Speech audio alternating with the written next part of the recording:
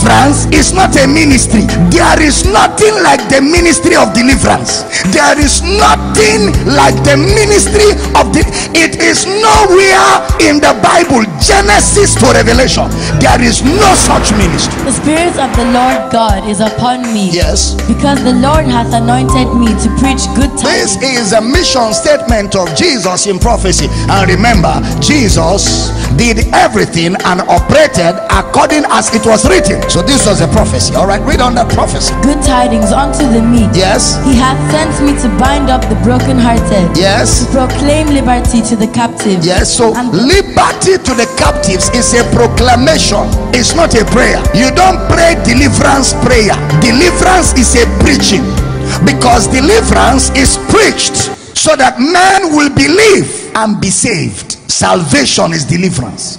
you know, I was just thinking about this. People don't read their Bibles, honey. You know, they don't read their Bibles. I was just walking down this the, the, the corridor in the house, just on the way to the car. Then the Holy Ghost called my attention to this. All these deliverance ministers and ministries that claim they are doing deliverance, which scripture says that man is the deliverer? no scripture beginning from the shadows to the substance ever attributed deliverance to man no man can deliver another man I'll show you. Put your finger in Isaiah 61, flip to Exodus 6 6. Let's see the shadow concerning deliverance. Wherefore, say unto the children of Israel, I am the Lord, and I will bring you out. I I, the Lord, will bring you out from under the burdens of the Egyptians, which is sin, which is a type of sin. I will rid you out of their bondage, and I will redeem you with an outstretched arm and with great judgment. And I will take you to me for a people and I will be to you a God, and you shall know that I am the Lord your God, which bringeth you out, out, salvation, out from under the burdens of the Egyptians. Next verse. And I will bring you in unto deliverance, movement from out into, out of darkness into light. Who is the deliverer? God. Now, come with me to the fulfillment. Colossians 1:12. Giving thanks unto who? The Father, which hath made us meet to be partakers of the inheritance of the saints where in light. This Father, it is he who hath delivered. Who is the deliverer? The Father. The Father. Somebody said, but it was Moses that went and told Pharaoh, Let my people go. It is a man of God that goes to tell people, Your sins have been paid for. When they believe that message, Jesus delivers. I'm teaching here. But when he came to casting devils out, he said, This sign shall follow you that believe in my name you shall cast out. But for deliverance he is the deliverer. But for casting demons out it is one of the elements in the id card of a believer. That as you're walking as a believer part of your id card is anywhere demons are making noise out. Out. Out. But when it comes to deliverance giving thanks to the father who had delivered us Isaiah 61. Put up verse 2 for me. Read on. To proclaim the acceptable year of the Lord. Yes. And the day of vengeance of our God. To comfort all that mourn. Verse 3.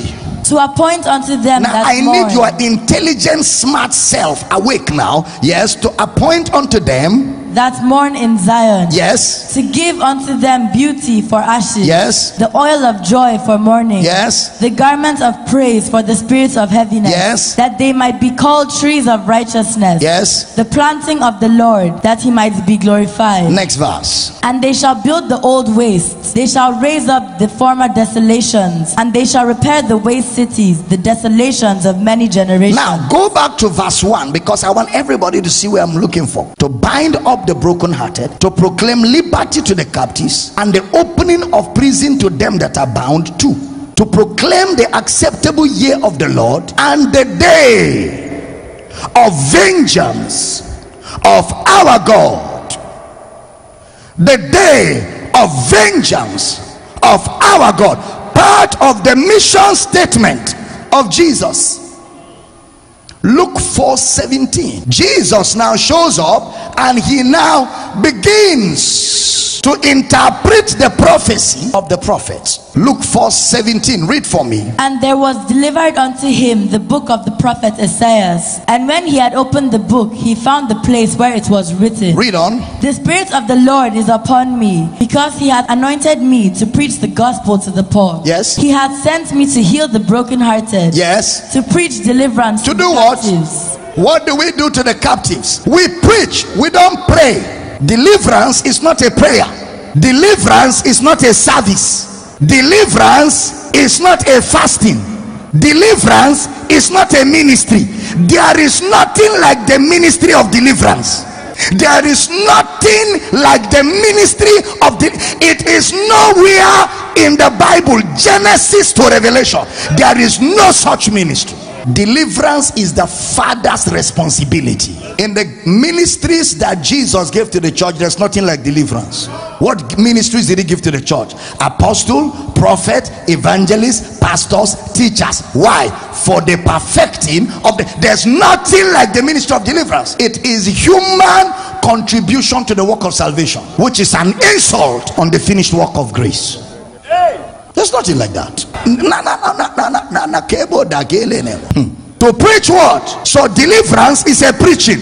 It is called the word of faith, which we preach. It is called the forgiveness of sins. Unto you, the forgiveness of sin is preached. Acts 13 38. We will come back to look for. Be it known unto you, therefore, men and brethren, that through this man is preached unto you what? The forgiveness of sins. To preach deliverance. What is deliverance? The preaching of the forgiveness of sins. It's called the word of faith. It's called the word of faith.